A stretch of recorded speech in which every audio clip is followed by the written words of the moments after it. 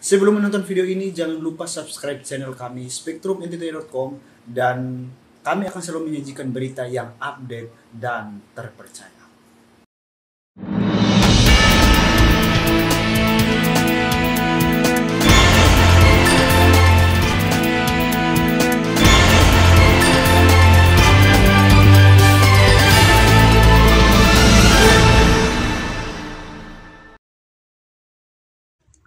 SMPS Santa Maria Menorowo mulai adakan ujian tryout pertama yang dilaksanakan di rumah guru atau salah satu rumah siswa.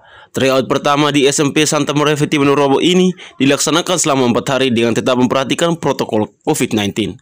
Kepala Sekolah Yovita Naisaban AMD ketika ditemui media di ruang kerjanya menyampaikan bahwa ujian tryout yang diselenggara selama empat hari ini dibagi dalam empat titik lokasi ujian dengan jumlah siswa-siswi 62 orang dan terdapat tujuh bidang studi yang akan diujikan.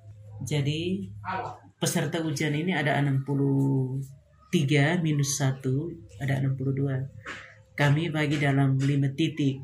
Titik pertama di Nurawa B, kedua di Kianren, ketiga di Aitiris, keempat di batas sana. Ada adalah eh, tujuh bidang studi, jadi ujiannya empat hari. Hari pertama dua bidang studi, agama PKN, ya agama bahasa Indonesia. Hari kedua matematika PKN, hari ketiga IPS bahasa Inggris hari keempat IPA. Nah, kami sudah sudah agendakan untuk tryout tiga kali. Nanti tryout kedua itu tanggal akhir Februari, tryout ketiga 15 Maret. Ia pun menuturkan bahwa ujian tryout dilakukan sebanyak tiga kali ini guna mengantisipasi apabila tidak ada ujian sekolah maka nilai siswa-siswi akan diambil dari nilai tryout tersebut.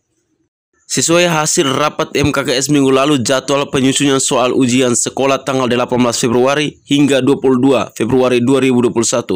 Akan tetapi, jika COVID-19 masih terus melanjut, maka tidak akan ada ujian sekolah. Agenda kan jadwalkan untuk tryout ini, ini sudah dari tahun-tahun kemarin. Tahun lalu itu untung kami tiga kali tryout, tapi yang ketiga sudah agendakan bahan tidak jadi karena pas COVID.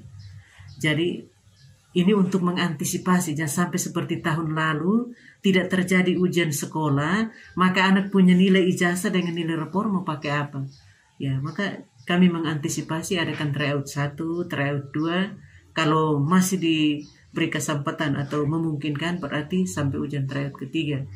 Itu jangan sampai tanggal karena ujian sekolah jadwal itu tanggal 19 April. Jangan sampai COVID masih berlanjut berarti nilai ijazah dengan nilai rapor kami pakai trade 1 dengan trade 2 nilai nilai rapor itu semester 6 Melaka Spektrum Entertaining Sontai melaporkan